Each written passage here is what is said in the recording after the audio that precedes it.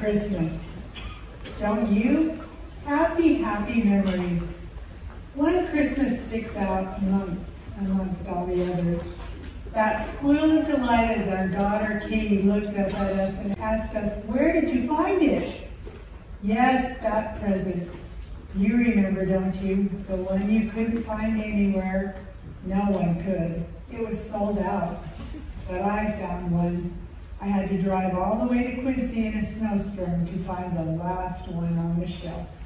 But was it worth it?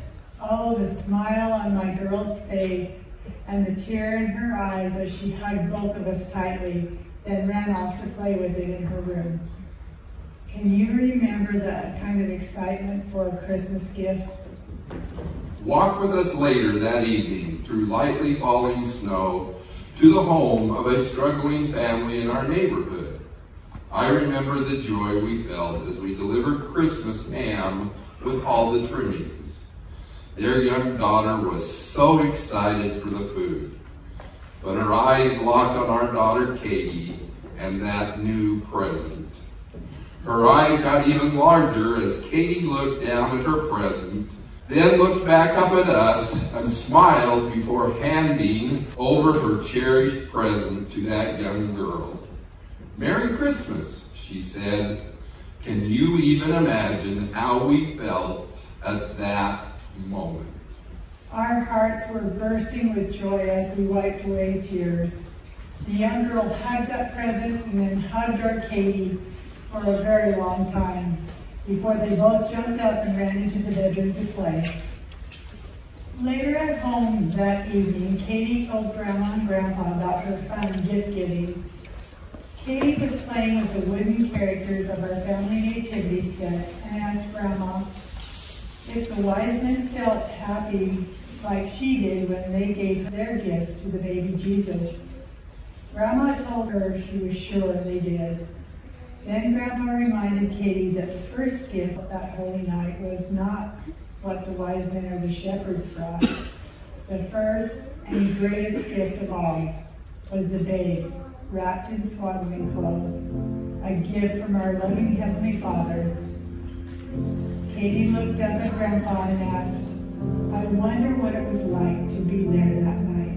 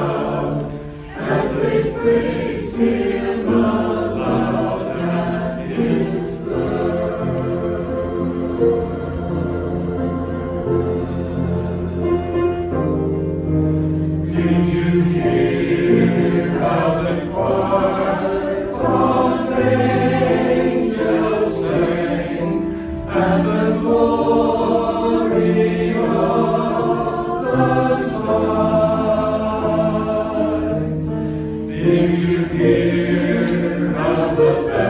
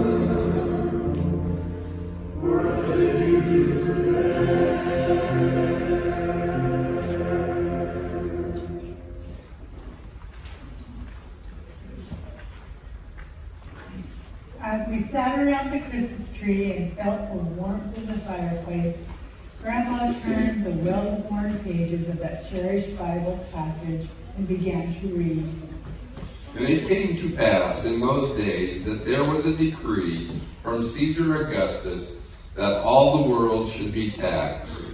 And all went to be taxed, every one to his own city. And Joseph also went up to Galilee, out of the city of Nazareth, into Judea, unto the city of David, which is called Bethlehem, to be taxed with his with Mary, his espoused wife, being great with child. And so it was that while they were there, the days were accomplished that she should be delivered. And she brought forth her firstborn son, and wrapped him in swaddling clothes, and laid him in a manger, because there was no room for them in the inn.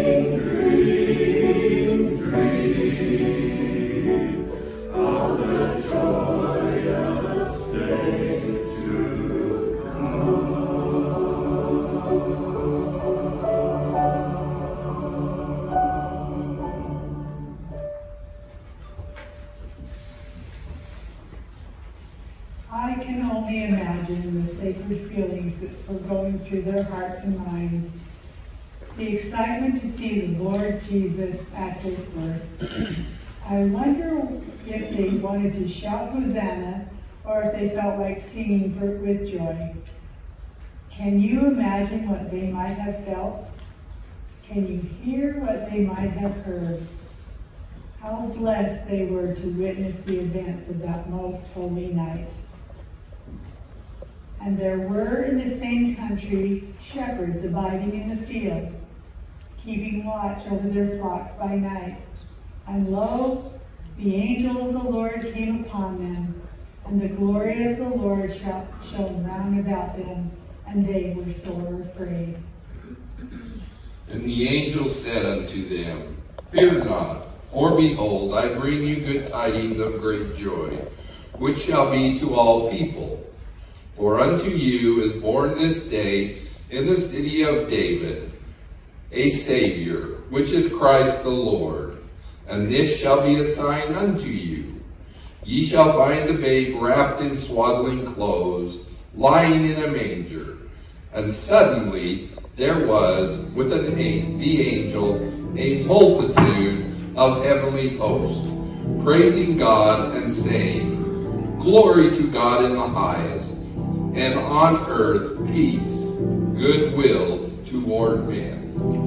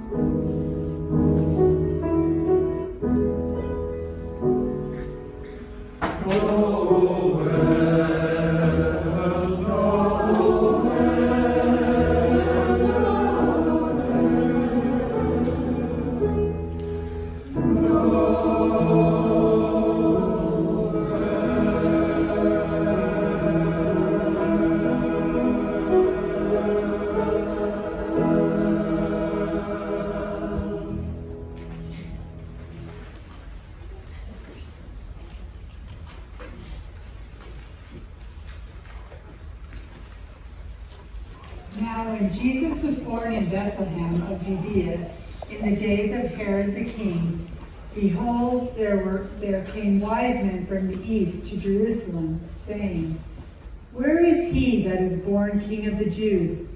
For we have seen his star in the east, and are, uh, and are come to worship him. And lo, the star which they saw in the east went before them, till it came and stood over where the young child was. When they saw the star, they rejoiced with exceeding great joy.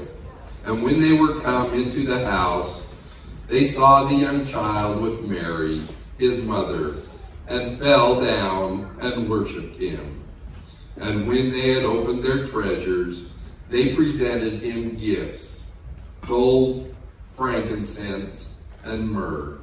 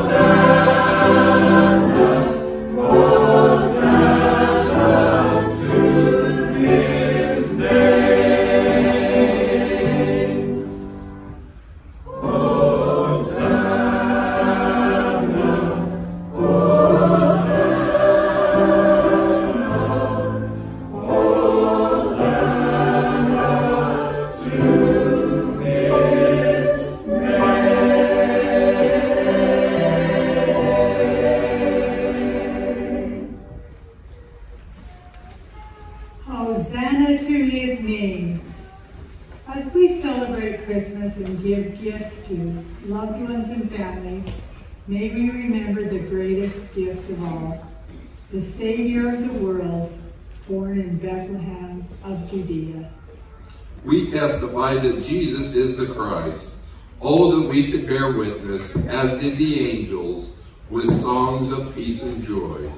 How we long to bow reverently at his feet, as did the shepherds and the wise men, and honor him with the only gift we have to give, our whole heart, our love, and adoration. Silent night, holy night,